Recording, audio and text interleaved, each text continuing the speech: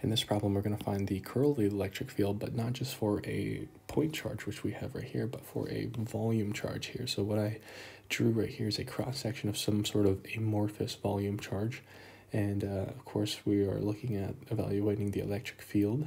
Uh, in order to, to find the curl of it, we have to find, evaluate the electric field uh, at um, all the points, all some all the arbitrary variable points around that uh, amorphous weird uh, uh, volume charge density here, which has a volume charge density of rho, which uh, rho depends on a distance from the coordinate center, which we just defined as some sort of point here in the center. It could be anywhere, but um, but it depends on the uh, distance from the origin center all the way to some distance r prime uh, from the origin center. And of course, our separation vector and our vector from the origin center to the point where we're evaluating, evaluating the electric field is all defined like this. So if you're a little bit confused by this, I'd, I'd highly recommend and go uh, revisit the um, other sections in uh, the ch this chapter, chapter two. And so what we have here, of course, is uh, the general version of the finding the electric field due to some sort of charge density. Uh, um, at some arbitrary point. So what we can go ahead and do is just start finding the uh, curl of this big chunk right here. So I'll just go ahead and begin with that. The curl of 4 pi epsilon naught. Here we have this um, integral, which we're not necessarily going to put any bounds on it yet. Curly r, r prime, prime here. Okay. And now what we can do is, uh, so this curl is really mainly attacking the, um, it's going after uh, everything in terms of the uh, coordinate axis, right? So since r, the separation vector here, is a technically a function of um, r prime and r vector, and since the, the curl is mainly going after the r, the the uh, the electric field point right here, it can move past the uh, the constants, the integral, the volume uh, charge density and mainly just operate on our separation vectors. So we'll go ahead and just make that apparent now. Move the constants out in front.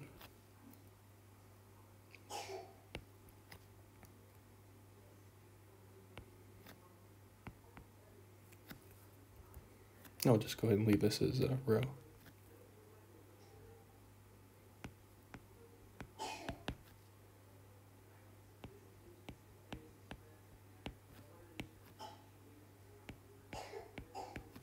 rho. we go. And next, uh, we'll just go ahead and define uh, this uh, r prime, or separation vector r prime, over uh, the magnitude squared of that vector, unit vector, or the separation vector as a v vector. And this is just to be uh, consistent with the, uh, um, the, the inside cover of the Griffith textbook, because what I'm going to write next is the definition of the curl in spherical coordinates because that's what we're working with here since we're working with a volume charge density.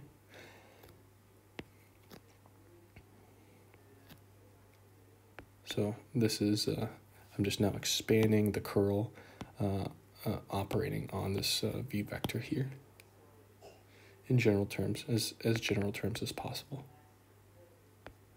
So it's 1 over uh, r sine theta times the partial respect to theta.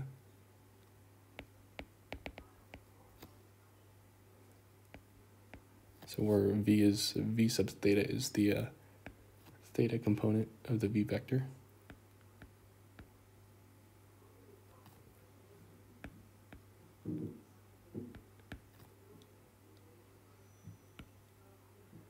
All right.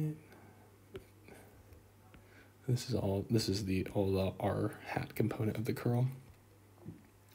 And then now there is the uh, theta component.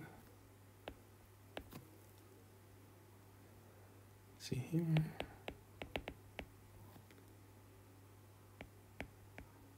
So this is the partial of the R component, but we have that. But it's the partial in respect to any sort of um, phi components. We have none. But like I said, I'll, I'll go back and, and make these apparent which ones are actually um, positive or non-zero or um, or zero. And then finally, this is the uh, phi component here.